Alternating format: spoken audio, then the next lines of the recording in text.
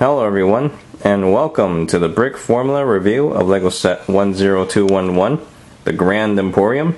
It has 2,182 pieces for ages 16 and up, and is from the Modular Building series, and this set retails for $149.99. And before I continue, I would like to give a shout out to Pangolemmo, Mr. Lalo 8111, Legos to Bricks, and All Star Week 193. Okay, they are the subscribers who had requested that I review this set. So everyone, check out their channels.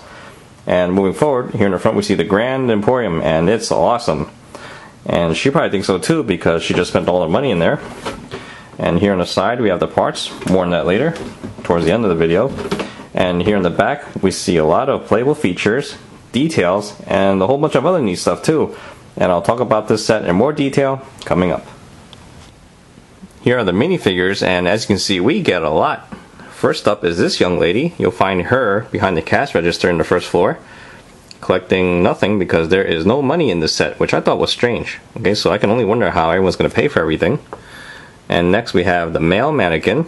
I count him as a minifigure because he does have a face. Alright, and there we go. Okay, so he's got a pretty nice looking suit there. No details on the back. And the same goes for this young lady over here. Okay, you can show your pretty face. I won't bite. Just ask my wife. Okay, and there we go. Looks like she's in a wedding gown. Some details there in the back. And those two might make a good wedding cake topper. Who knows? Next, we have the shopaholic. And as you can see, she is dressed up for the Christmas season over here. She's got a nice little necklace over here, and it looks like she just finished her holiday shopping. Some minor details there in the back pretty nice. And next we have the guy who is stuck in the fitting room trying out a new pair of jeans. And I wish these were yellow pants, but no, those are his legs. And he's got some really small black underwear. My advice is you should get an underwear, not pants, because that looks like floss over there. It's just some advice, because that looks like it will itch any time. Over here is the kid, who looks like he's dressed up as a pirate. A little swashbuckler over here. Some minor details in the back. And mm, there we go. And finally, we have the window washer who goes way up there. Okay, he looks like a farmer from the other sets. This is probably his part-time job. Alright, and there we go. I guess we'll see more of him later on. Now to take a look at the Grand Emporium. Here is the first floor, and this is the floor that has probably the most detail out of the three. Okay, because as you can see, they spent a lot of effort here on the exterior and the interior too, which I'll show you later on. Okay, and unlike most of the module sets, this is a corner building, okay, which is something you don't see very often. The last time we saw a corner building was the cafe corner back in 2007. And we'll just start with this side over here, where we have the ice cream vendor. Okay, the only flavor they have is vanilla, which is okay. I like vanilla too. And she's the one who will be selling it to the little kid. I just don't know how the kid's going to pay for it because, like I said, there's no money. Okay, over here have a wastebasket, and if you look right behind them, we have some windows over here that are really clear okay? You can see some hats there or some window shopping okay? So there we go. And then going over here we have another shopper. We have two pots of flowers. And here are the revolving doors okay? Which spins pretty fast. It looks really cool. However it is a little bit awkward to play with okay? Because if you try to put a minifigure through there like this and you spin it slowly and oh there goes Junior's hand. And he's like ah my hand! Ah and then you know it's really hard to get in there okay? You can try to do it faster if you want alright but it's that, that's just how it is okay? And there we go. And okay he's in there. So that's a lot of effort to get inside. That probably explains the slow business which you'll see later on okay? And over on this side we have a mailbox. And we have two letters that will never get delivered because there's no mailman yet and then right behind that is some more window shopping. You see the mannequins there on display with the wedding clothing over there. It's pretty neat. Over on this side we have two pegs to connect to other modular builds and we also have access to the back door which is probably where I'll go if I want to go shopping inside, okay? And there's a wastebasket and a little lamp over there. And here's the other side where we have more connectors for other modular builds. And there we go. Okay, let's take a look inside. On the way in, you'll notice that there's a really nice floor pattern here at the corner, which is a really nice touch. And then up here, I like the way they made the sign up here. It looks pretty clever. Although it doesn't look as good as the one in the Fire Brigade, but still, it looks cool nonetheless. And when you look inside, you'll see that the first floor is dedicated to selling clothing and some minor accessories too. Okay, because we got the mannequins there on the side, and we have some kitty pants up there on the shelves, which I find a little strange, especially if you're trying to sell to little kids, because that's really high up there. I don't think they could reach for them. And then right next to it, we have the fitting room, and that's where the guy is changing his pants. Okay, so we can take a look. I thought I would never do that to a guy, but there we go. Although he doesn't really have anything to be ashamed of. There's only one girl here, so maybe you might impress her. Who knows, right? Well, let's not get into that. And then right besides that, we have a little table there where they sell the perfume and cologne. Okay, pretty neat.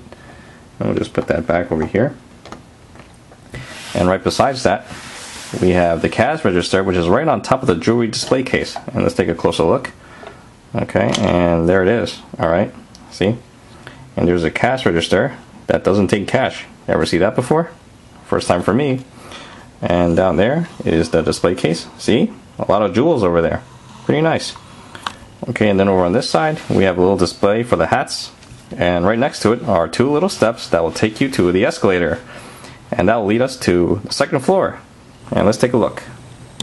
Here is the second floor, and as you can see, it looks pretty nice too on the outside, although it's not as sophisticated as the first floor. Alright, but there it is. Okay, we have some flags there, which is what separates this from the third floor, okay, because the third floor doesn't have those. And you'll notice that we have a lot of these green windows over here. Okay, we have 19 sets of those, and we have another 19 on the third floor too. Alright, and there it is. And here is this side. We have another window over here, and here is the other side. Okay and there you go. And when you look on the inside you'll see that it's pretty simple too. Alright this is the floor that is dedicated to selling the plates and the cups. And as you can see there's really not much business over here. And I think I know why. And the reason why is because when you look at the escalator alright it has really nice details there but I'm not sure how it is in other parts of the world but over here we have two escalators. One to go up and one to go down this one looks like a one-way trip so I guess no one's going up over here okay so there we go Right? Thought that was a little strange. And now, to put this on the first floor, okay, it's not hard. There's no studs where this thing will attach to, okay, which I find a little weird, but I guess it's okay. It'll just be locked in by these two parts over here and this part over here, okay, and this will fit in just nicely. I just prefer studs there anyway because you see it's a little bit loose, but I guess it's something we can work with, alright. Now to take a look at the third floor. Here is probably what is my most favorite department in any store, and that's the toy store. Although this might make an exception because they don't sell Lego sets over here. And if they do, that looks like a set that's already pre-made. Or it could be a birdhouse. Either way, I'm not interested. Alright. And over here we have a little scooter, which is pretty nice. And we have two balls. Hmm. And over here we have a really cool looking chandelier. And if you feel like going Phantom of the Opera you can disconnect it from here and down it goes okay? And overall it's really nicely done on the inside. And once again we don't really have any customers up there. Maybe it's because it's expensive who knows? And here's what it looks like on the outside. It's just like the second floor minus the flags okay? And that side is pretty plain.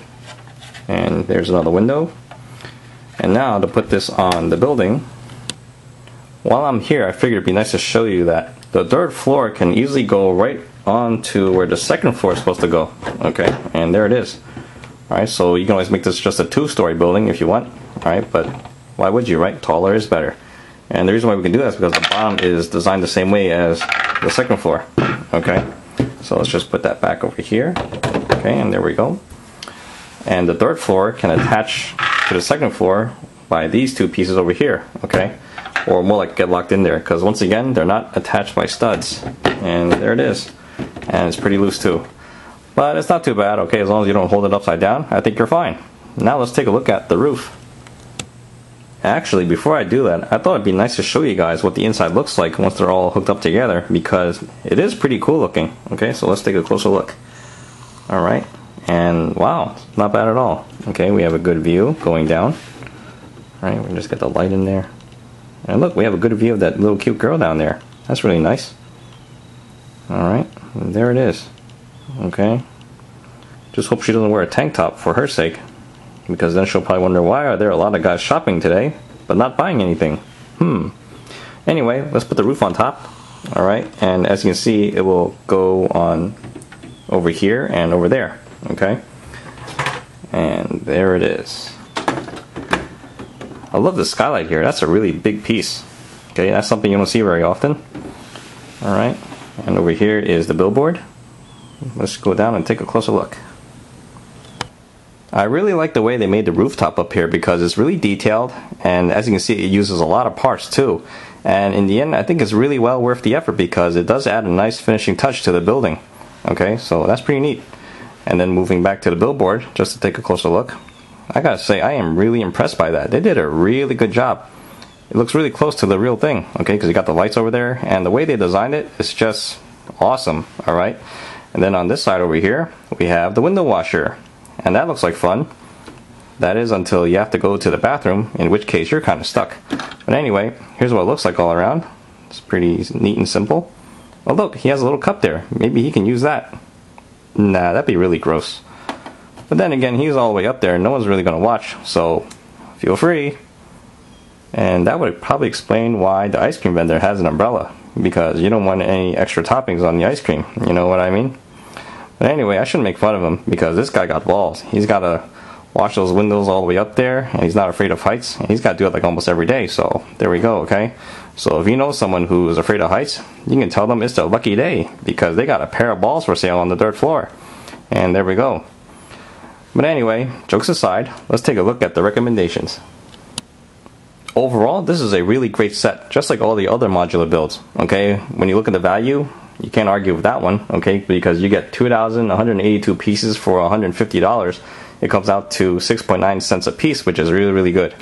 And unlike the other modular builds, I like this one the most simply because it's got a lot of good parts. Okay, we have a lot of these gray parts right here, and the cheese slopes, and double cheese slopes too. Okay, because they're on the escalators, and those are really handy when you want to make your own creations with fighter jets and stuff like that. Okay, and you'll see that in my A10 Thunderbolt too, whenever that's finished. And when it comes to playabilities, there's a lot to do here. Okay, you have the shopping, you got the different departments, and you have like seven minifigures, okay? And you can do whatever you want, really. So, in the end, I don't see any reason why you would not get this, especially since this is a corner building too, okay? You don't see that very often. And for your enjoyment, okay, this is what you can do with a corner building. See that? It's really awesome, okay?